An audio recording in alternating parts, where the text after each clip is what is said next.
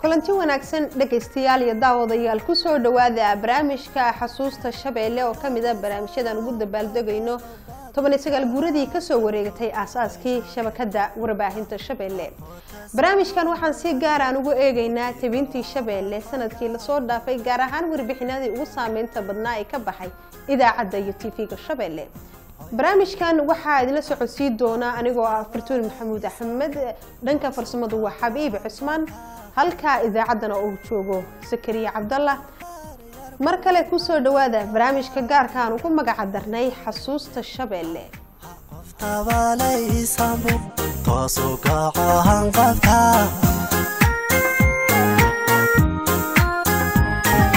toban sano ka badan baadi kaha tagto hoy shabeelle ha ha oo tasahawdaybu ku tibahaxayaa hagaagi ismaqal wanaagsan daawasho wacan ee saaxiibayaal sanad guuro wacan. Waxaan si anba qaadaynaa qeybaha barnaamijka aan ku eegayno warbixinadii ay tabisay shabeelle sannadkii la soo dhaafay.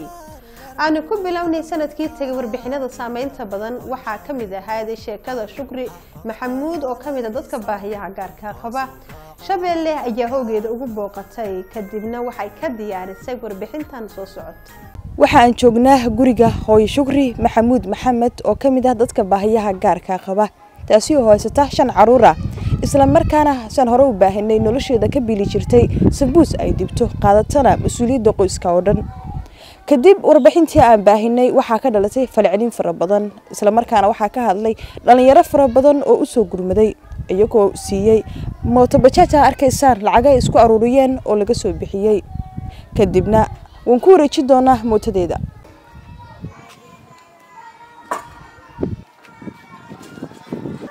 furahan aad u jeedaan waa furo mootobajaaj dhalinyaro joogta dalka iyo dibadda lacagay iska aruuriyeen ayay ugu iibiyeen shukri mooto waxaan doonayaa maadaama la ii wakiishay wakiilashada mootadan inaan shukri markaan ku wareejiyo shukriga gudon. Waa kaa hayaa abaayo kheyr allah ku siiyo furihii mootobajaadka waa kanaa walaalahay kheyr allah siiyo dhammaantood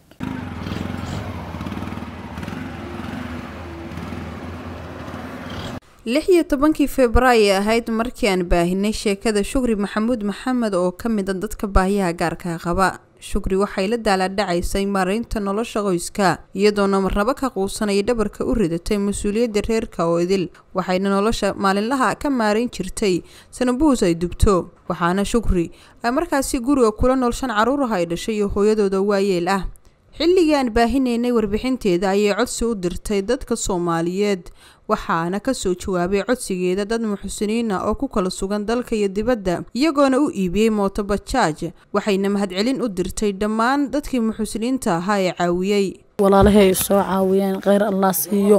Shala waa dhibaateysnaa alxamdulilah maanta waa nimcaysanahay. Ilaahay kheyrkiis waa walaalhay waa ii dadaaleen. Kheyr badan allah siiyo oon la soo koobi karin ijir badan allah siiyo waxaa waaye qof iska waxaan iska ahay iska maskiin oo iska danyaraanahay alxamdulilah ilaahay beriga waa waxaa waaye waa ii dadaaleen. Waan u jeedaa lacagaha ay ii soo aruuriyeen bajaadkaasaa la igu geday. Waa ku mahadsan yihiin boqol jeer waa un soo duceeyey. Haddana waa u soo duceeyahaa fartuun walaashay waatanaa waa ila joogtaa waa i caawisa waa i garab istaagda waa i kaalmaysay marka iidana waxaa waaye jasaaka allaahu ilaahay kheyrkeeda gudi kara maahan aniga waxba uma galo. Ilaahay meel kale oo bedel kheyr qaba allah siiyo. Dhammaan walaalaha wax soo sadaqaysteen. Ajir aan la koobi karin adduunya aakhiro allah siiyo. Allah u kaalmeeyo.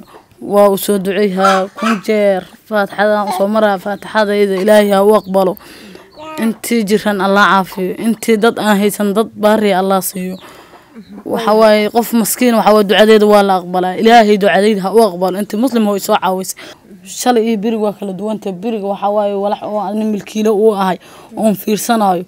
Ay walaalahay igu soo bedeleen. Marka alxamdulilaahi fartuunay kheyr allah siiya adigan waa kana waa iila duceeyeysaa.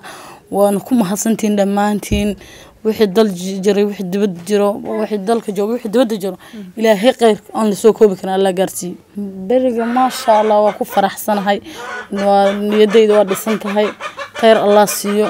Waxa waaye farxadan ku jiraa waxa waaye anagoo kolegay waxaan iska joogo waxaan arkaa walaalaha muslimiinta faatixa u daldalayo u duceeyayo. Ilaahay faatixadayda waxaan leeyahay intii muslim hoo wax soo sadaqaysatay ilaahay ha u bedelo kheyr alla ugu bedelo. Lacagta laygugu soo aruuriyay oo laysoo diray bajaada laygugu soo gaday waatana ariday taallaa alxamdulilah waa bajaad cusub oo nadiifa oo waxawaaye nolol maadkay hadhow biri ku aadi doonto. Insha allahu waxawaaye dadkii soo gaday iyo dadkii soo dirabo ilaahay kheyr ha siiyo dembi dhaaf allah siiyo. Aadanaha noloshoodu waa kala gaar balse dadka soomaaliyeed waxay yihiin kuwo iscaawiya islamarkaana isku gurmada iyagoo u gurmanaya kooda tabartayar fartuun maxamuud axmed shabelle t v muqdisho.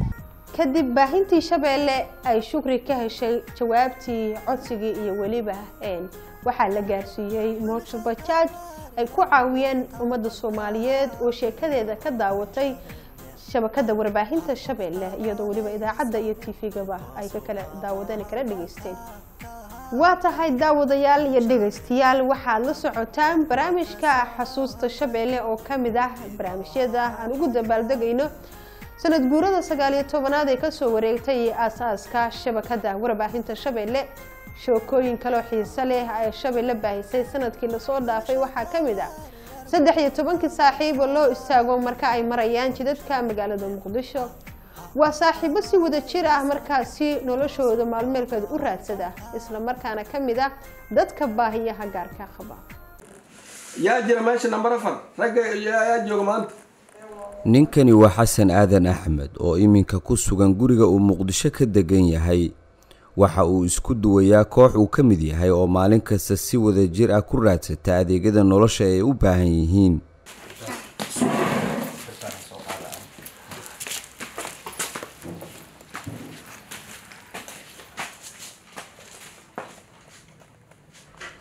waa saddex iyo toban nin oo muqdisho caanka ah. Marka la joogo shaaraacyadeeda balse aysan wax badan dadku kala socon. Xigmadda ku jirta isla jirkooda.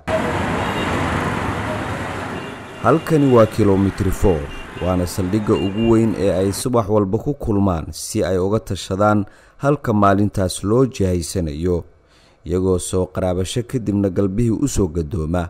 Meel kale oo ay ku falanqeeyaan wixii ay maalintaas la soo kulmeen dhib iyo dheef alxamdulilah bulshadaasaan ku wada noolnahay waan iska xamaaranaa waan iska garguuranaa wixii ilaahayna siiya ayaan barakaysanaa nolosheenna alxamdulilah saasay ku tiirsan tahay. Ummadda islaamka wixiina siiya ayaan owlaaddaas aan debkana ku shidanaa wixii yacni alxamdulilah maalintii wax nagu yaraadana maalintii kale deenta waan iska qaadanaa alxamdulilah nolosheenna sida ilaahay nooga irsaaqay ay noo tahay alxamdulilah lixaadkooda ha fiirinina balse eega maskaxdooda oo ah mid ay ku curiyaan wada socodkan oo dabcan waxa ay leeyihiin sharuuc ay ku ilaaliyaan wadajirka ay wax iskugu darsadaan kuna maareeyaan halganka nolosha.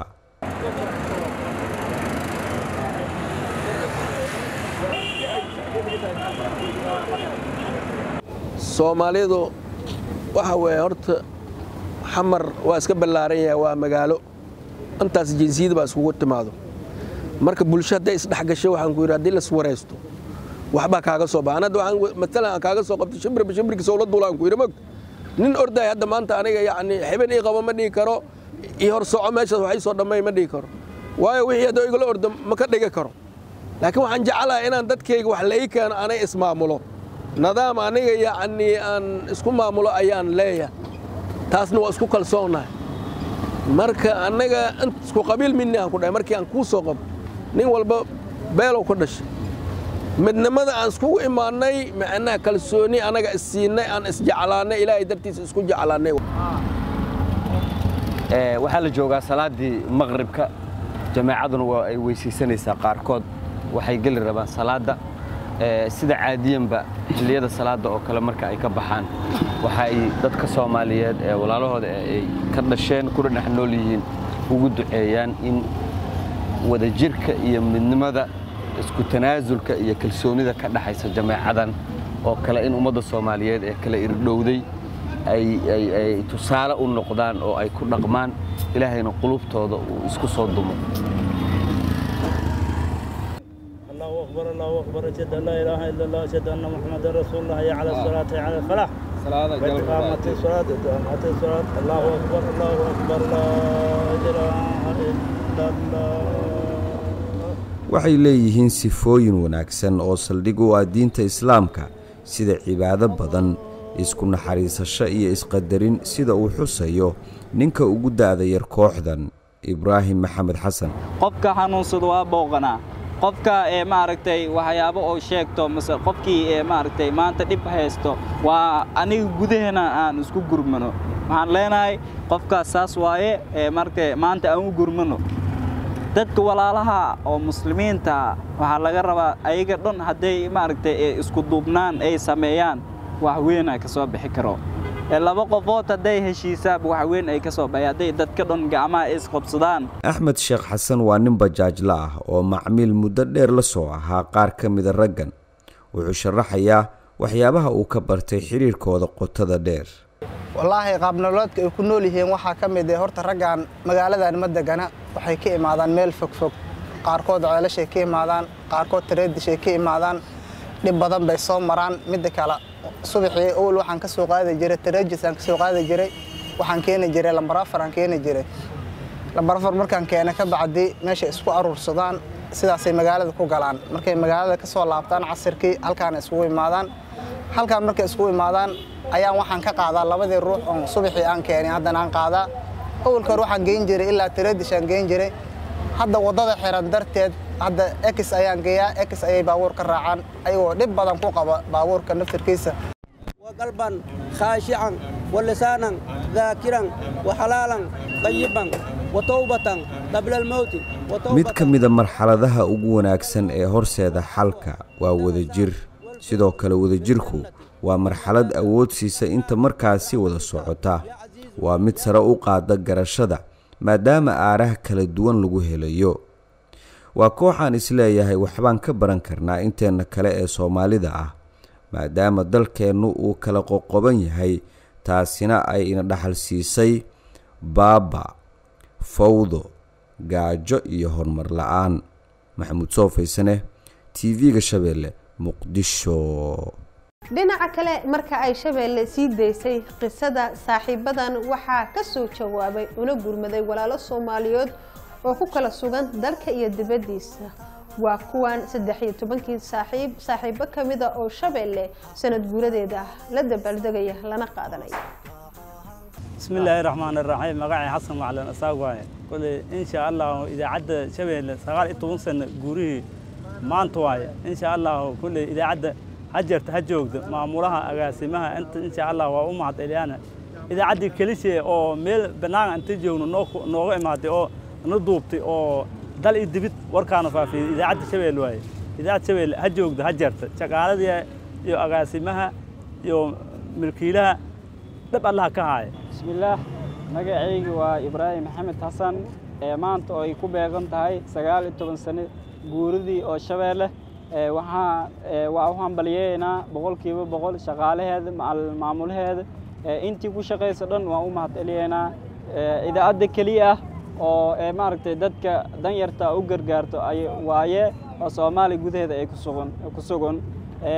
Maaragtay idaacaddan waxaan leenahay weligeed ha jirto ha joogto. Insha allah waan u duceeyaynaa waa u jeedin dadkii oo naafada ahay waaye dadka u daceeyahay kolleyba ma aha markaan oo keliya ma aha markay noo imaato mar walba maaragtay dadka baahidan iyo iyo waxyaabahan oo dhibkii soo qabto dhan dadka la socda ayay ka mid yihiin. Maaragtay ayaga waxay u nugul yihiin maaragtay dadka bermigeedada ah oo oo baahiyaha gaarkaa qabo. Mase dadka maaragtiin oo tabaalaysan dadka duruufaha gaarka qaba ayay u nugul yihiin. Ayaga mar kasta waxay u tagaan dadka tabaalaysan. Waxaan leenahay idaacadda keli ah idaacadda ummaddu waaye allaha barakeeyo waa idaacadda soomaaliyeed waaye allaha barakeeyo waxaan leenahay guulayso hor u soco insha allah meeshaad ha ka soo laaban aan leenahay السلام عليكم ورحمة الله وبركاته إذا عاد الشباب وأهم بلينا وأهم بلينا إن شاء الله بإذن الكريم شغالة هذا شغالة هذا ابن هذا دونك أنت كوب أنت وأهم بلينا وأهم بلينا بإذن الله الكريم السلام عليكم ورحمة الله وبركاته أن هذا كهر سيف عنا مارتي أن نوقع بشيء agaasimaha waa ku mahadsan yahay shaqaaradiis insha allahu biidnillaahi kariim. Hadda ka hor caawanaaddeeda maaragtay si fiican yaa heben muhiim ah yaa noo qabatay. Maaragtay waa ku soo modnay. Biidnillahi kariim waa ku soo modnay. Waxbaa noo qabatay. Idaacadda keliya wax noo qabatay. Hambaliyo hambaliyo hambale leh. Sidoo kale shabeelle waxay u istaagtay dhismaha masaajid ku yaalla magaalada muqdisho ee caasimadda soomaaliya iyadoo kaashanaysa bulshada soomaaliyeed. Waxaa magaalada muqdisho maanta dib looga furay masjidka qadiimiga ah ee xaaji yuusuf kaasoo ku yaalla degmada warta nabadda. Warbaahinta shabeelle ayaa qaybta ugu weyn. Waxay ka qaadatay in dib loo dhiso masjidka xaaji yuusuf waxaana hal sana iyo saddex bilood warbaahinta shabeelle waday garabsiinta masjidkan kaas ugu dambeyn ay ku guulaysatay in dib loo dhiso. Mas'uuliyiin iyo culummo dalka laga yaqaan ayaa ka soo qayb galay munaasabadii lagu furayay masjidka xaaji yuusuf waxaana ka mid ahaa sheekh maxamuud oo cabdalla cariif iyo sheekh abuukar xasan maalin iyo sidoo kale agaasimaha warbaahinta shabeelle mid ka mid a culummada ka hadashay dib u furitaanka masjidka xaaji yuusuf ayaa si gaara waxa ugu duceeyey warbaahinta shabeelle iyo milkiilaheeda cabdimaalig yuusuf. Waxaan rabnaa horta marka ugu horeysa inaan u ducayno cabdulmaalik yuusuf maxamuud oo ah maaliga idaacadda shabeelle. Aan waxaan rabnaa inaan u ducayno hal faatix u akhrino ilaah inuu barakeeyo isaga iyo maalkiisaba ilaah xifdiyo. Alfaatix waxaan leenahay allaha caafiyo allaha barakeeyo maalkiisa allaha barakeeyo naftiisana allah xifdiyo aan leenahay. Saasaan ugu ducayna cabdulmaalik dhismaha masjidka qayb fiican oo ka qaata khayr allah siiyo. Barnaamijkeenaan gudagelaynaa hadduu ilaahay yidhaahdo waa masjidkii xaaji yuusuf oo dhismihiisu uu socday. Maxaan ku idhaahdaayey wuxuu socday bilood. Marka maanta insha allah waxaan nasiib u yeelannay in maanta la furo a ilaahay maaragtay subxaanahu wa tacaala noo qadaray. Cabbaar uu soo jiitamay laakiin maanta ilaahay qaybtiisii hore waa noo dhammaystiray. Waxaan u mahad celinaynaa u mahad subxaanahu wa tacaala aaniyan ka soo qaybogalayaasha waan u mahad mar saddexaad waxaan u mahad dadkii masjidka dhisay cod iyo calafba ku dhisay waxaan leenahay jazaahum allahu khayr aljazaa ayaan leenahay. Ugu dambeyn waxaa munaasabadda dib u furitaanka masjidka xaaji yuusuf ka hadlay culimada kale ah sheekh maxamuud oo cabdalla cariif iyo sheekh abuukar xasan maalin iyagoo uga mahad celiyey dhammaan dadkii ka qayb qaatay dhismaha masjidka xaaji yuusuf. Waxaa wax ka dhisay idaacadaha telefishinada khaasatan waxaan xusi karnaa idaacadda weyn oo shabeelle waxay ka qayb qaadatay si gooni ah oo ugu celcelisay in masjidkaanu heerkan soo gaaro. Waxaa la rabaa aalada la haysto inaan fasahaad laga samayn laakiin khayrka laga sameeyo wax kastaa loo adeegsan karaa. Makarofankan iyo hadda waxaan ku wadnaya kaamiradan. Dad waxaa sameeyaan dhici karta gaalaha sameeyey. Daanis iyo balaayo iyo maaragtay dheel iyo cayaar iyo marka inay ku tuntaan ay codka ileen waa kuwa maaragtay sameeyaya ayagu saasay u samaysteen. Laakiin annaga hadda maxaan u samaysan weynaa waxaan ilaahay ugu dhowaano. Marka waxaa la rabaa idaacaduhu iyo maaragtay social mediaha waxa loo yaqaano inay ka qayb qaataan inta dadka ay baadiyey lahaayeen ee wax xun ay ku soo shubi lahaayeen ee owlaaddii fasahaadi lahayd haweenkii fasahaadi lahaayeen dadkii fasahaadi lahayd waa sida hadda maanta musiibada caalamka ka taagan kow khaasatan soomaaliya musiibada haysta ninkii kitaab mudaaracay jira xataa oo kutub lahaya ase baalkaasuu fiirinaya ninkii maaragtay qur'aan akhrisa lahay kaasuu akhrihaa nin kasta saas dadki waxa weye diintii waa laga mashquuliyey gaalaa ku tala gasha. Alxamdu lilaah walaalayaal. Dhammaanteen ilaahay subxaanahu wa tacaala ayaan uga mahad celinaynaa xafladdan qiimaha badan ina waafajiyey. Xafladdan oo munaasabadeedu lagu soo beegay iftitaaxa masjidkan masaajidda muqdisho masaajidda ugu da'da weyn ku jira oo loogu magac daray sheekhii daaciga ahaa ee weliga ahaa الشيخ العالم الفاضل xaaji yuusuf xasan masaajidkaas oo sida runtii taariikhda hadda macallinku inoo aqrinayey waxaannu ka fahmaynay muddo toddobaatan sano ka badan in meeshan ilaahay lagu caabudayey diintana laga faafinayey masjidkan ayaa lagu sameeyey dib u dhis baaxad leh iyo ballaarin si ay uga faa'iidaystaan bulshada soomaaliyeed. Maxamed ciise koonaa shabeelle t v muqdisho. Cumar sheekh axmed cumar shaam waxa uu ka mid yahay howlwadeennada shabeelle wuxuuna sharaxaad ka bixinayaa masaajida ay shabeelle ka qayb qaadatay dhismaheeda si loogu cibaadaysto. Bismi illahi raxmaan raxiim asalaamu calaykum waraxmatullaahi wabarakaatuhu aad baa u mahadsantihiin. Runtii shabeelle waxqabadkeeda arrimaha bulshada markii la yidhaahdo wax weyn bay qabatay. Sababtoo ah waxay ka qayb qaadatay ay dhistay shabeelle. Masaajidka weyn ee degmada wardhigle ku yaalla masaajidka xaaji yuusuf idaacadda bilowday ilaa uu ka dhammaadana dhisaysay waaye. Dadka muxsiniintana ugu baaqday inay markaas ka qayb qaataan dhismaha masaajidkaas masaajid kaloo asagana ku yaallo biyo degeenka buuluxubay idaacadda shabeelle idaacadda u istaagtay in masaajidkaas dhisma ay ahayd. Sidoo kale masjid kaloo asna ku yaalla degmada wadajir ayay sidoo kale idaacaddu dhistay oo ay bilowday dhammaystirtayna. Sidoo kale cumar shaam ayaa sheegay in shabeelle oo kaashanaysa dhegeystayaasha ay ka qayb qaadatay ciidsiinta carruur agoon ah. Si looga farxiyo una ciidaan kuwa kale si la mid ah. Ilaahay baa mahad ay u sugnaatay runtii nagu guulaya inaan macnaha aan agoontan aan muxuu ahay maanta inaan ciidsiino waxaan kaloo aan u mahad celinayaa dadka muxsiniinta ah ee idaacadda shabeelle aan uga dhawaaqna ee halka dollar iyo labada dollar iyo saddexda dollar iyo shanta dollar iyo soddonka dollar bixiyeen. Maanta qaybtii ugu horreysa ayaan bixinaynaa insha allahu tacaala oo gaarayaan ilaa iyo boqol iyo toddobaatan cunug oo agoon ah oo isugu jiraan. Gabdho iyo wiilal ayaan maanta ciidsiinaynaa insha allah. Waxaan ku xijin doonnaa boqol kalean ku xijinaynaa biidni illaahi alkariim. Tirada dadka waa dad qoran waaye waxay gaarayaan ilaa iyo lix boqol oo qofay gaarayaan. Sanadkan sannadkii ka horreeyay afar boqol iyo lixdan agoon ciidsiinay. Waa hagaag daawadayaal dhexbartamaha ayaan kaga jirnaa barnaamijkii xasuusta shabeelle markaana sheekooyin ka duwan iyo weliba maxayda dhacdooyinkii hore waa sheeko la magac baxday madax ka taabasho. Dadka reer muqdisho ayay saameyn aan caadiyahayn ku yeelatay taas oo baraha bulshadana qabsatay kadib markii ay baahisay shabakada warbaahinta shabeelle xasan kaafi ayaa sheekadaasi inooga waramaya waa soo baxay marka ninka madaxusa ayaa tataabto madaxu jeegada mufiiriya mooy laakiin madaxu iga tataabanaya madaxasoo iga tataabanaya oo soo baxna dambeysa. Laakiin kiiska madax ka taabashada oo madaxa laga taabtay waxaan joogay xamar weyne bakaaraa la ii waday dabkaa loo marayaan ka kacay. Annaga kiisa uu nagu waxaan u ambabaxayaa soo tabinta sheeko aniga qudhayda walwal igu abuurtay oo qabsatay dhowr qof oo ka mida dadka ku nool muqdisho.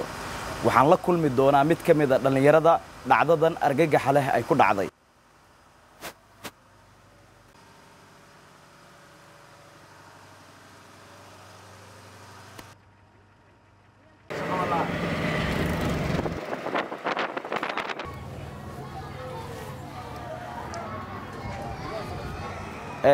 gurigan waxaa ku nool qoyska cabdisamed haashim yuusuf oo ah wiilka ay qabsatay dhacdada aan doonayno inaan u dhibbidhaaminno bulshada soomaaliyeed si ay uga digtoonaadaan.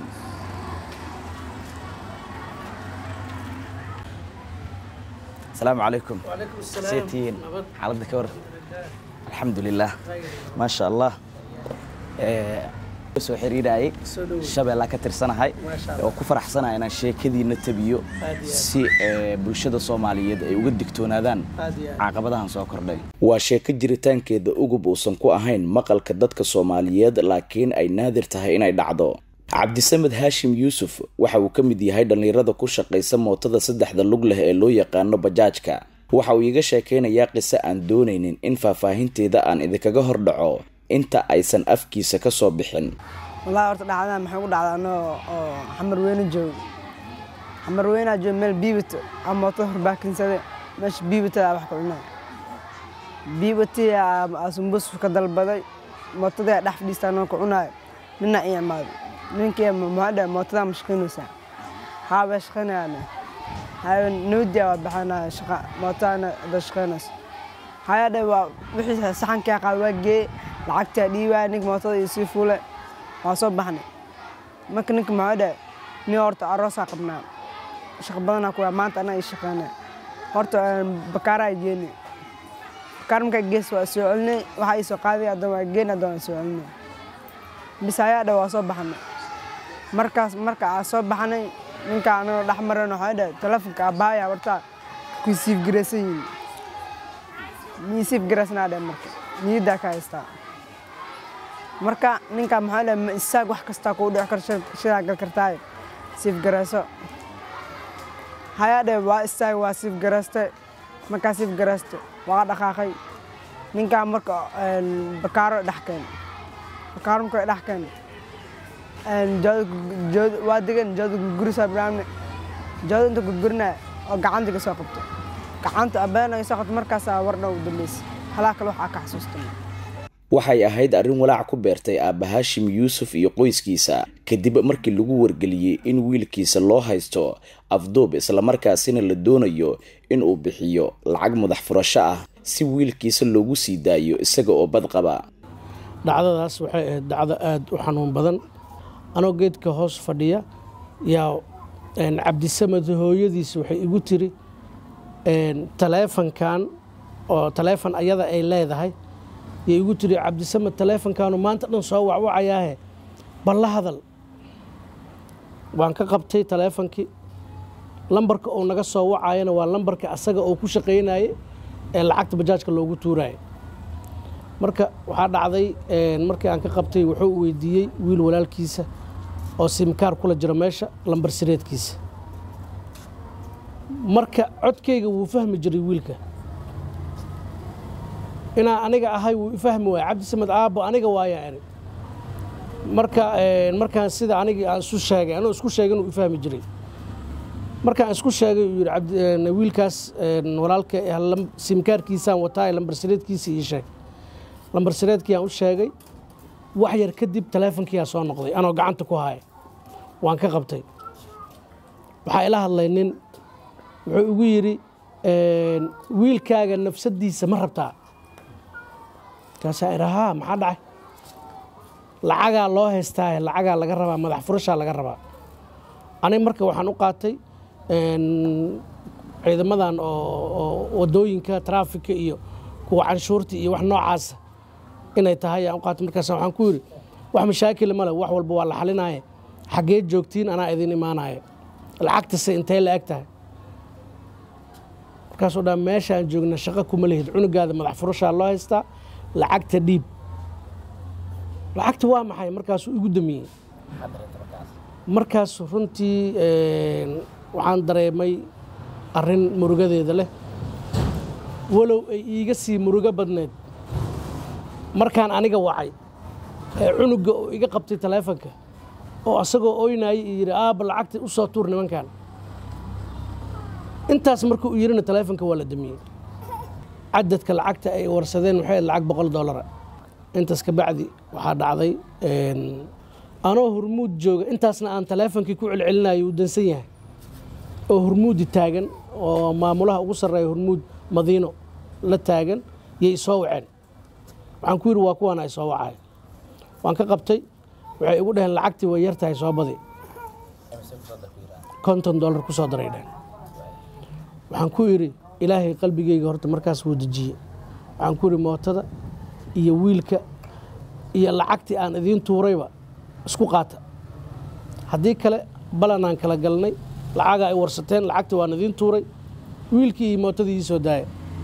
Waxay igu yidhaheen marka mootadaan reebanaynaa wiilkaan soo daynaynaa taas adinkaa khayaar u lahaan dhaha taleefonkeyga waa ka dansada. Anoo kutubkii akhrisanaayo yaa waxaa ii soo galay wiilkii la lahaa waa la haystaa oo wiilkayga ahaa.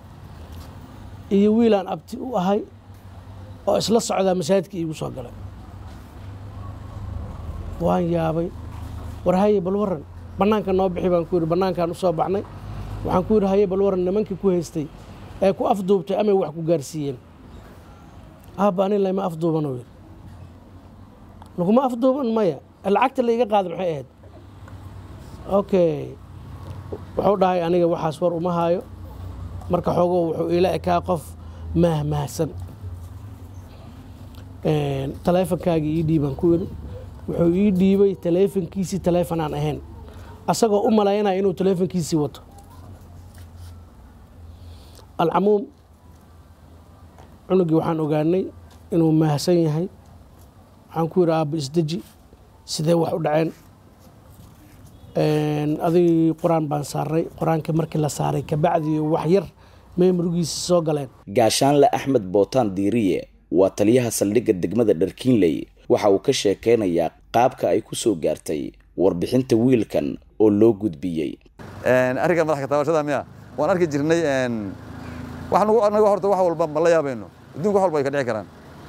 Inna sarcad wuu dhici karaa wax walba dhici karaan qofki in wax la cabsiyo dhici karaan si walba wax dhici karaan waxaan la yaabayna ma jiraan laakiin annaga dharkeynley ahaan sannadan hadda aniga aan joogno anaga aan joogno waa kiis noogu horreeyey waay oo dharkeynley ka diiwaan gelin dharkeynley ka diiwaan may may aniga arrintaas ma dhihi karo waa arrin soo korortay. Halkaan dhacday nugu ta annaga. Halkaan dhacdo. Nugu dhacdooyin kale waa jiraan kiisas badan way dhacaan oo noocyo kala duwan ahaato xatooyi wax walba way dhacaan laakiin kiiska madax kataabashada oo madaxa laga taaftay waxaan joogay xamar weyne bakaaraa la ii waday dabkaa loo marayaan ka kacay. Annaga kiisa uu nagu cusub yahay in laga digtoonaado dhacdooyinka noocaan ah waa arrin u baahan in ay ku baraarugaan bulshada u nugul dhacdooyinkan u muuqda in dhaqaale lagu raadinayo. Xasan kaafi xaji maxamed shabeelle t v muqdisho. Waa hagaag saaxiibayaal dhegaystayaal waan filayaa inaad ka soo wada bogoteen sheekadaas cajiibka ah. Weliba dad badan oo reer muqdisho iyo caalamka ay ku cusub tahay sheekadan cajiibka ah sidoo kale shabeelle waxay sannadkii hore tabisay sheekada saddex carruur ah oo walaalo ah misna naafaa kadibna la caawiyey. Sakariye axmed muuse ayaa hoygooda ku booday caruurtaasi la caawiyey. Shabakadda warbaahinta shabeelle ayaa dhowaan tabisay warbixin ku saabsan qoys ka kooban toddoba xubnood oo lix ka mid ah ay yihiin curyaamiin dhallinyaro soomaaliyeed oo isxilqaamay oo ku nool dalka gudihiisa iyo dibaddiisa iyo sidoo kale isbitalka somali sbeshaalist hosbital ayaa ka jawaabay baahiyaha caafimaad iyo tan nololeed ee qoyska ku gadaaman. Baaris caafimaad oo lacag la'aan ah ayaa qoyska reer yuusuf khaliif waxaa u sameeyey isbitalka somali sbeshaalist hosbital dr amiin samakaal oo ah agaasimaha isbitalka ahna dhakhtar qaabilsan carruurta ayaa sharaxaya baaritaankii lagu sameeyey qoyska curyaamiinta. 95%na waxaa waaye waxaan ku diagnose garaynay inay qoyskan dhibaatada heese ay tahay. Waxa la yidhahdo osteogenic imperfecta oo ah genetic disease ama cudur hidisidaha oo problem hidisidayaasha ku dhaca ka imaado kaasoo waxa wax la yidhahdo collagenka ay dhib ku imaato lafahana densitigooda oo xumaado. Markaas kadibna lagu arka dadkaas inay iska jajabaan. Caruurta inta badan lagu arko waa uu kala duwan yahay ilaa afar nuuc waaye. Nuuc kamida oo aadna aan u darnayn waxa laakiin nuuca labaadoo daran ah ayay qoyskan qabaan sida aan ku calaamadaha lagu arko waxaa ka mid ah oo ayaka naftirkooda ay noo sheegeen qofkii uu iska jabayo haddii wax gaaraan waxaa ka mid ah sidoo kaleeto waxa la yidhaahdo iskaleeraha oo blue noqoto waxaa kaloo ka mid oo kaleeto waxa la yidhaahdo in lagu arko xoogaa culeys dhagaha ah waxaa kaloo ka mid a in ilkaho kaleeto dhibaatooyin lagu arko ilmaha koriinadooda oo xumaatay ilmahan oo midka toban jirka loo malay inuu shan sano jiro si dadka hadda arkaba ay arki karaan. Halkani waa hoyga qoyska reer yuusuf khaliif cabdi. Maa-ide yuusuf waxa ay ka mid tahay carruurta curyaamiinta ee ku nool hoygan waxa ay heshay gaari nooca curyaamiinta oo ay ugu talagaleen dhallinyaro soomaaliyeed oo issoo xilqaamay. Cabdilcasiis qaasim maxamed waa wakiilka dhallinyaro soomaaliyeed oo lacago ay iska soo aruuriyeen samafal ugu sameeyey qoyska reer yuusuf. Waxaa maanta inuu suurda gashay inaa samafal soo gaarsiiyo qoyska reer yuusuf oo ka kooban shan carruur iyo aabood oo naafe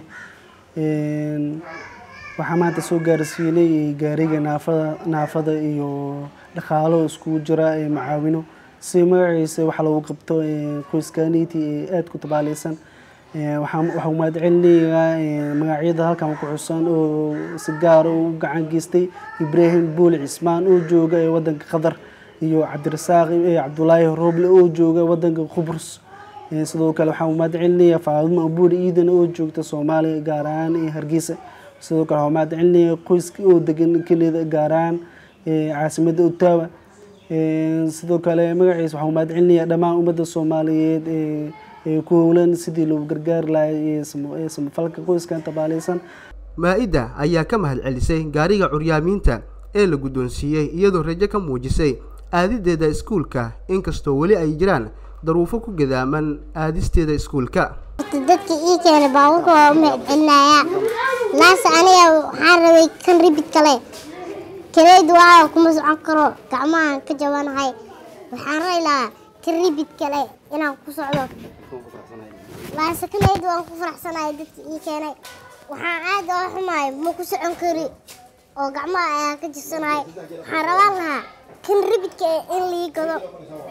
Dhammaan dadka ii gadan waad ku mahadsantihiin aabe yuusuf ayaa ka mahad celiyey samafalka qoyskiisa loo fidiyey aad iyo aad baan ugu faraxsanahay maadaama yacni ee dadka soomaaliyeed ay yihiin dad isu gar- isu gargaaro oo dad wada dhashe ah islaam ah hal luqad ku wada hadlo aad iyo aad baan u mahad celinayaa alaabta la isoo gaarsiiyey qalabkan iyo xogaaga lacagta la isoo gaarsiiyey.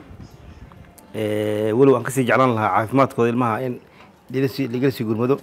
Sababta waxaa weeye caafimaadka wax walba ka muhiimsan laakiinse waa- wax walba waxaa ka weyn xusuusta waa la soo xasuustay aad baan idinkaga mahad celinaya insha allah barnaamijkan wuxuu ogaaday idaacadda shabeelle ay baafisay wuxuu yidhi ciyaalka hal ii wada keeno dhammaan waan u wada geeyey. Dhiigu ka wada qaaday bilaa lacag la'aan. Vitamin d-ga ka wada barayaa buu yidhi doctor amin khayr allah siiyo. Eh, ku yaroo jaban hataa meesha lagu soo kabay oo haddaba guriga ku jiro. Raajana wuu soo saaray. Qoyska u badan curyaamiinta ayaa weli u baahan gacan bani aadamnimo iyo in lagu taageero gargaar caafimaad oo dalka dibaddiisa. Waa hagaag daawadayaal wadhiga intaa barnaamijkii xusuusta shabeelle aan ugu dabaaldegaynay sanad guuradii ka soo wareegatay markii dhidabada loo aasay shabakada warbaahinta shabeelle anigoo fartuuna ayaa la socodsiinayay xabiib ayaa farsameynayay dhanka idaacadduna waa sakariya cabdallah. Tan iyo barnaamijkan barnaamij lacayna sidaasii nabadgelyo